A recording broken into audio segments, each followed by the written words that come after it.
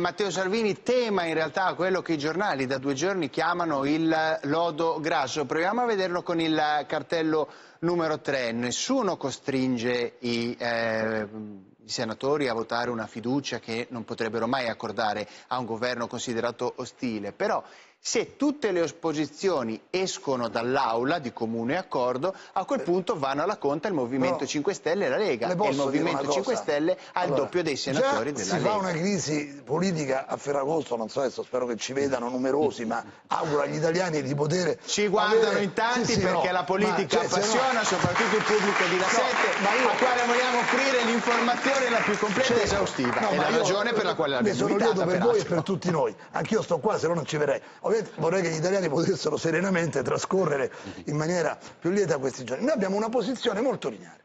Noi abbiamo votato la sfiducia a Conte fin dall'inizio. Ora uno dovrebbe spiegare al vicino d'ombrellone, non mio che adesso sto a Roma, ma di un nostro militante, dice no, quelli sono usciti perché così si fa il duello tra quello e quell'altro. Io credo che le cose comprensibili siano migliori. Noi non abbiamo mai votato la fiducia a Conte quindi voteremo contro il governo Conte. Abbiamo sempre avuto l'alleanza di centrodestra, che vede Barenghi ha ragione, Salvini ha fatto delle affermazioni, però noi qualche settimana fa abbiamo votato in Sardegna, nel Molise, mica cento anni fa, le elezioni al comune di Cagliari si sono svolte il ballottaggio a giugno, stiamo ad agosto, quindi non è che noi stiamo risalendo certo. alla discesa in campo, quindi noi restiamo dove siamo stati sempre, poi la vicenda del governo giallo-verde era nata un anno e più fa, si dice ma anche Forza Italia lo sapeva, c'era in quel momento la consapevolezza che rivotando il 28 luglio, lei ricorderà, si era parlato anche di questo, no? tutta l'Italia diceva forse chi lo sa sarebbe stato meglio, ma col senno di poi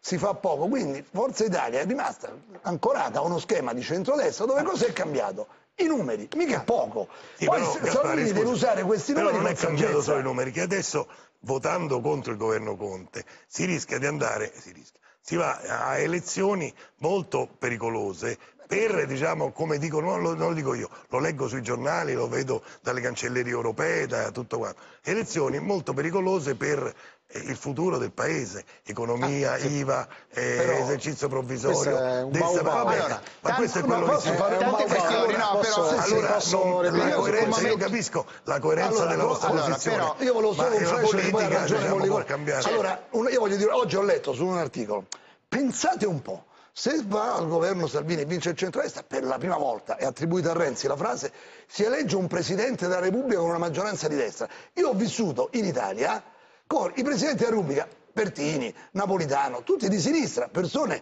che non hanno, a volte si è anche discusso, sì. i ribaltoni, le robe con Napolitano, abbiamo avuto anche polemiche, dopodiché stiamo qui liberi e vivi.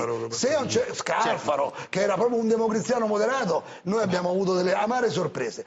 Perché se viene eletto un Presidente della Repubblica nel 2022 da un Parlamento a maggioranza di centro, allora, mica verrà eletto immaginate... Attila o Abbatantuono, flagello Poi immaginate quanto sia